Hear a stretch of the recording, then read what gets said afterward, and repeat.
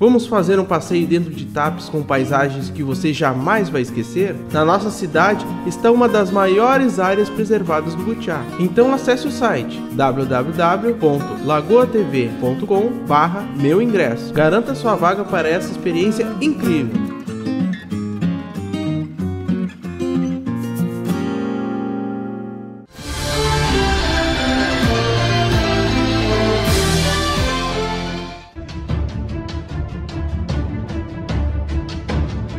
Procuradores da Lava Jato em Curitiba querem tornar Lula um preso incomunicável e pedem à juíza Carolina Lebos, que se notabilizou por tentar proibir toda e qualquer visita ao ex-presidente, que ela proíba as visitas de Fernando Haddad e de Gleisi Hoffmann, presidente do PT, ao presidente Lula, alegando que ele transformou a sua cela em Curitiba num comitê de campanha, desconhecendo que tanto Haddad quanto Gleisi são advogados constituídos do presidente.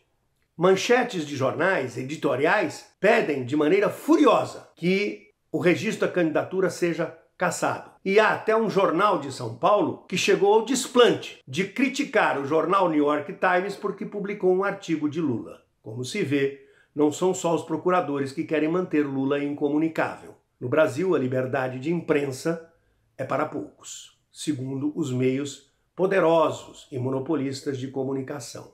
Mas ontem, num fabuloso espetáculo de cidadania e de civilidade e de alegria, milhares de pessoas estiveram em Brasília para registrar o presidente Lula como candidato à presidência da República nas próximas eleições.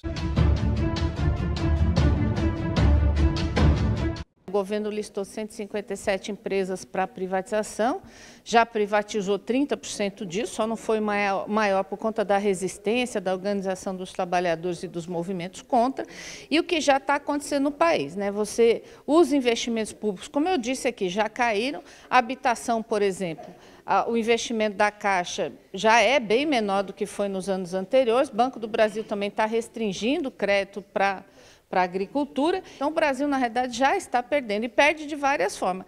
Perde emprego, perde divisas, porque você vai privatizando e as multinacionais que vão comprando as empresas nacionais mandam o resultado do seu lucro para fora. O governo também perde, porque as empresas públicas mandam dividendos para o governo. Então, assim, é, um, é uma roda de perda que está ocorrendo nesse momento, com as privatizações que já ocorreram e também com o sucateamento das empresas públicas. O PT registrou Lula como candidato. O judiciário não permitirá que Lula condenado seja candidato. Não fizeram como fizeram para agora recuar. Confissões do final de semana revelam muito desse processo. Rogério Galouro, diretor da PF, informou ao Estadão foi orientado a não libertar Lula depois da ordem do juiz Favreto em julho, orientado pelo presidente do TRF4, Thompson Flores. O telefonema dele veio antes de expirar uma hora, contou Galouro.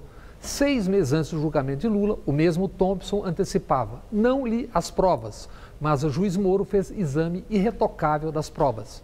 Thompson não conhecia as provas, mas já julgava, irretocável. Ali tudo já estava decidido.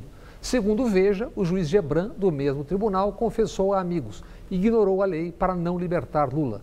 Gebran depois respondeu: ninguém fala em nome dele. Thompson confirmou ligação para a PF mas disso foi apenas para informar despacho sobre conflitos de decisões. Conclusão: ou mentiu o diretor da PF ou mentiu o presidente do tribunal. Isso são fatos, mas vive-se de partes a partes o curral do mundo binário, ou só isso ou só aquilo. Adversários que odeiam Lula e PT têm ilusões, supõem serem todos intimidáveis, que todos só deveriam noticiar fatos negativos sobre Lula e PT sejam fatos ou boatos, amam espalhar contra Lula e odeiam fatos e notícias positivas sobre Lula e PT. Querem todos reféns de seus ódios e o massacre midiático. Do Brasil afora, dezenas de milhares de militantes marcharam para Brasília em apoio à candidatura Lula. Nessa quarta, até quase final da tarde, mídias esconderam das manchetes os milhares em Brasília, como se lá não estivessem, invisíveis. Noticiaram na véspera engarrafamentos provocados pelos militantes pró-Lula, que não terá candidatura aceita. O candidato será Haddad. Essas e outras notícias você confere no nosso site www.lagoatv.com.